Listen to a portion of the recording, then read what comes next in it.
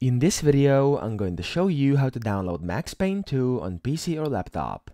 So the first thing you want to do is download Steam, which is basically an app where you can buy, uh, download, install, and then play games. So the way you do this is by typing Steam into Google and then going to the first website, which is store.steampower.com. And you want to click on the first link.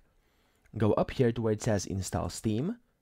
Then want to select your platform. In my case, it's Windows, and click Install Steam which will download the Steam setup for you onto your computer. Then you want to open this up, and then you are greeted with the Steam setup. You want to click Next in here, select your language and click Next yet again, and then you want to select the destination folder of the for the installation of Steam. So you can just leave this as it is or change it if you want to, it doesn't really matter. And then you want to press install, which will install Steam for you automatically onto your computer.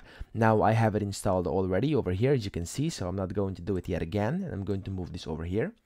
And then once you've successfully installed that, you want to open up the app and then uh, log in or create an account in case you don't have one already, which is very easy to do. Just follow the instructions that will be on your screen. Then you want to log in and you will see a page, something like me over here, okay? Now, if you're not seeing this, you want to click store up here and you should be on the store site inside Steam. Then you want to press up here into the search box over here on the right and type in Max Payne 2.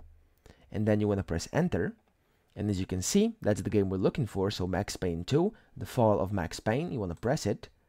Scroll down to where it says Buy Max Payne 2. You want to press Add to Cart. View My Cart.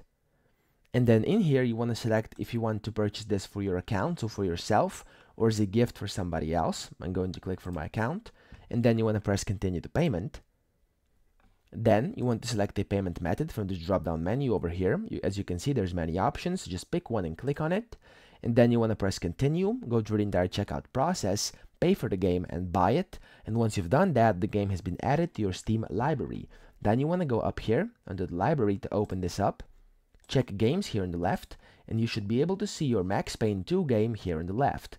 You want to click on it, and then press this big blue install button next to it, and then you can select if you want to create a short uh, desktop shortcut or a start menu shortcut or both. Just check or uncheck these two according to your um, according to your preferences and then you can install this game to one of your drives. So you have the C drive, and if you have any other drives available on your computer, you can select if you want to install it there. It's totally up to you.